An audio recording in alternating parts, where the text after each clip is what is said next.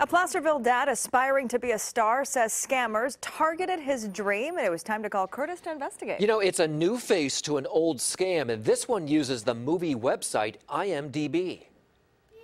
When skies are gray.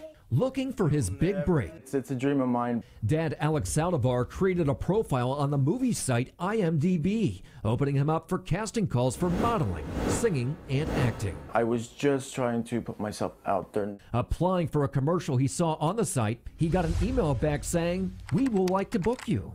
Oh my goodness. Wowee, this is awesome. They sent him this check for 4800 bucks with instructions to keep 500 as his booking fee. The rest he'd have to send to the contracted fashion stylist, and the wardrobe for the commercial will be shipped to you directly. Okay, hold on. Wait, wait, wait. That doesn't sound right. Yes, it was a check scam. These scams have been around for a long time. Many, many, many other scams, but this one I had not heard of before.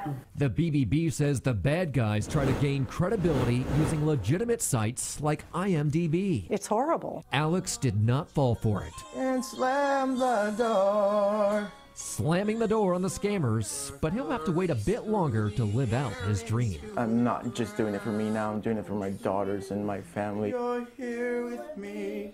Well, we reached out to IMDb, which said scam complaints like these are rare, but it does say it's investigating and it's going to take appropriate action. Just unfortunate. Yeah. If you have something for us to investigate, let us know about it. Go to CBS13.com slash call Kurtis and fill out our form.